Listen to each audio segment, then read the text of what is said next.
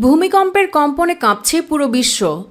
একের পর এক ভূমিকম্পের আঘাতে আতঙ্কে বিশ্বের শতকোটি মানুষ।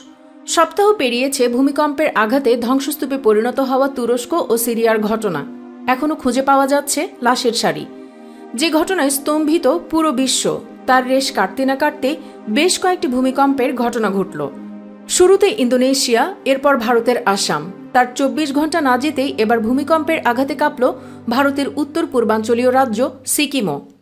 ভারতের ন্যাশনাল সেন্টার ফর সিসমোলজি জানিয়েছে, সিকিমে ভূমিকম্পের উৎস ছিল মাটি থেকে দশ কিলোমিটার গভীরে।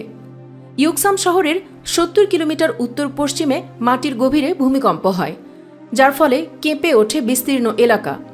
ইউকসাম শহর সিকিমের রাজধানী গ্যাংটক থেকে প্রায় একশো বিশ কিলোমিটার দূরে। পাহাড়ি এই শহরে বেড়াতে যান পর্যটকেরা। ভোরবেলা শহরে কম্পন অনুভূত হয়, তবে ক্ষয়ক্ষতির পরিমাণ কতটুকু তাৎক্ষণিকভাবে তা জানা সম্ভব হয়নি।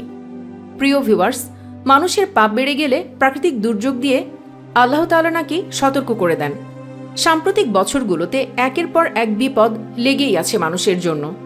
নিজেদের কৃতকর্মের জন্যই কি একের পর এক ভূমিকম্পের মুখোমুখি হতে হচ্ছে বিশ্বকে? ইয়েস অথবা নো লিখে কমেন্ট বক্সে জানিয়ে দিন আপনাদের মূল্যবান মতামত।